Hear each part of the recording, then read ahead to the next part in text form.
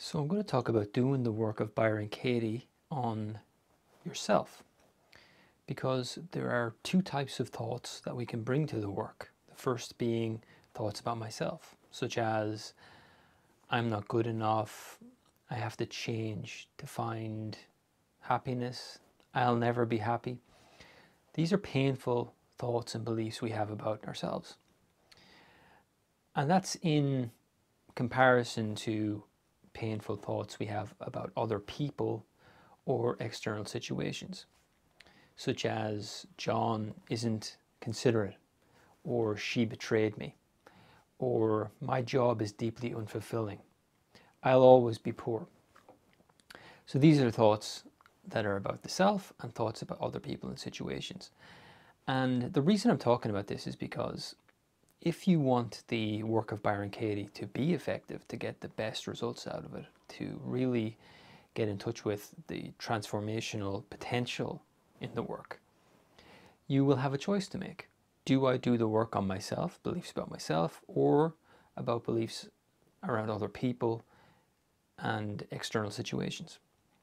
So, I'm going to tell you when you should do the work on yourself and when you shouldn't do the work on yourself. Doing the work on yourself can be helpful when you keep it short. Now, when you do the work, um, you're invited to fill out a sheet, and it could be a sheet about around one belief, and it can be quite long. When you're doing the work on yourself, such as I'm not lovable or I am unworthy, I'm not good enough, if you fill out an entire sheet about this, it's too long because it can become like almost it's overpowering and it becomes a form of self attack almost. So I would definitely say if you are going to do the work on yourself, to just do one belief at a time, keep it short. The benefits of doing the work on yourself is that it can give you a sort of a, it can get you in touch with your own innocence. Okay, it can give you a, a positive feeling about yourself that's maybe missing. So from time to time, it's absolutely okay. And Byron Katie has said this herself that yeah, it's absolutely fine to do the work on yourself. But that brings us to the second kind of point of this video here, and that's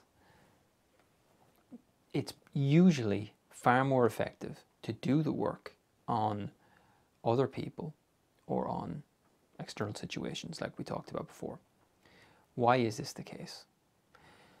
Well, first of all, the reason people kind of, I feel, want to do the work on themselves and not on other people or external situations is very, very important. Why do we want to do it on ourselves?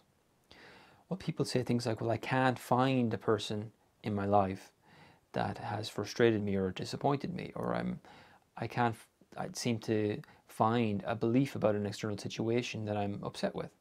But there's plenty about myself that I need to work on. This is very, very interesting.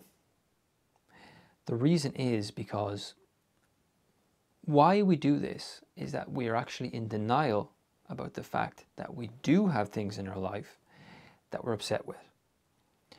Why are we not aware of that? Well, it's because of our upbringing.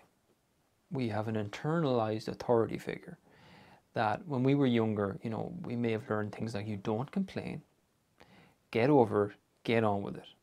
Okay?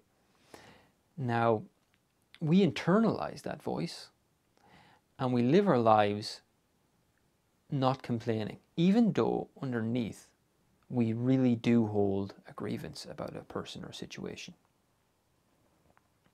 We're not in touch with our complaints. We tell ourselves that we are accepting of other people and of reality as it presents itself. But in truth, this acceptance is really just a resentment of reality.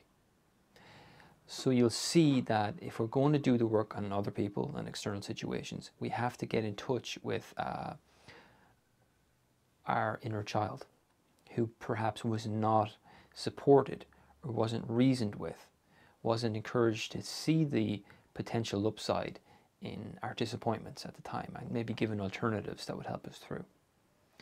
So we have to become very aware, and this is not not easy, realizing how childish we can be and that it's okay to be childish. We want to be childish. We want to complain. We want to find things that we genuinely feel a grievance towards. And that's a big step. That's a big step. An example I, I tell people sometimes is I, I found one myself, and it was I was driving home from work. And I had this feeling that was something not right. I wasn't feeling good emotionally. So I checked in with myself and I was sort of encouraged the feeling to say what it wanted to feel. And because I was on this journey home, it was a long journey, the feeling was this journey should be shorter. Now, my immediate reaction to that was this is childish. Okay, just ridiculous. Okay. But I stopped for a moment and said, this is the entire point of the work. There's a feeling there from that belief. And if I'm going to brush it off as childish, I'm not doing the work. I'm not allowing myself to complain. So I'm inviting you to allow yourself to be totally childish, to allow yourself to fight with reality as it presents itself to you. Because when you have the work, you now have a way to process disappointments that you didn't have before.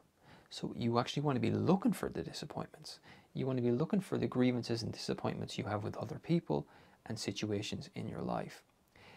There are far more perspectives to be gained and insights to be gained about yourself and how to live your life by doing the work on these things rather than just on yourself.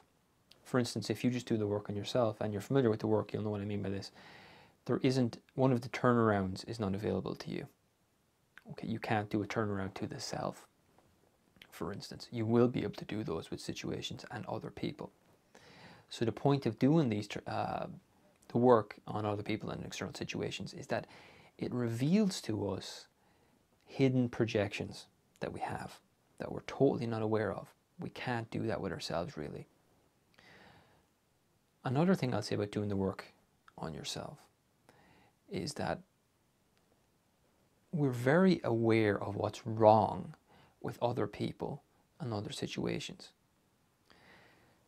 We're not so good at doing that with ourselves because we are more in touch with our own justifications and reasons for our behavior than we are about other people's justifications. So when you do the work on yourself, your mind can play tricks on you. Okay, it can be, it can have you running around in circles. So if you are going to do the work on yourself, just make sure that you're very skilled with it. And by that I just mean that you've got an awful lot of experience with it, or that you're doing it with uh, maybe a facilitator, someone like that, maybe a, therapist or a counselor.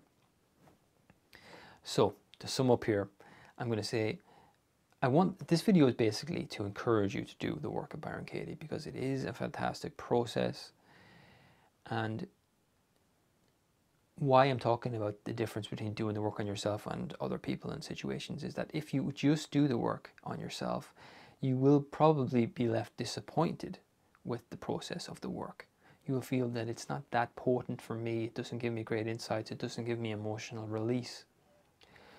When in truth, the, the real profound emotional release and self awareness is gained through doing the work on other people and external situations. So if you start to do that and get honest with yourself and allow yourself to complain, you will find that it does work and you'll be more motivated to do it because you're finding I have something in my life that allows me to, to process disappointment, to get over grievances and move forward happily with my life.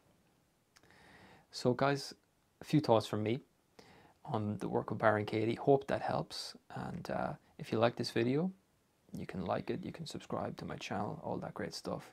And you can contact me at my website if you'd like to work with me or take one of my online programs. Thanks so much for watching, and I will talk to you again soon.